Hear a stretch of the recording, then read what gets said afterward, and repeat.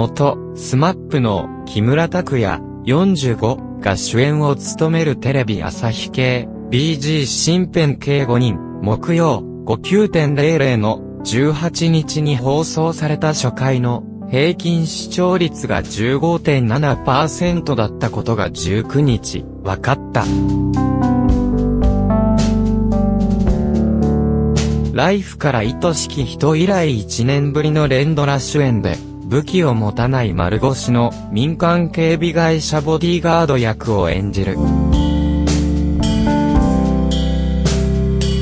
ライフから愛しき人の初回視聴率は14.2%で前回主演作を上回る好スタートとなった。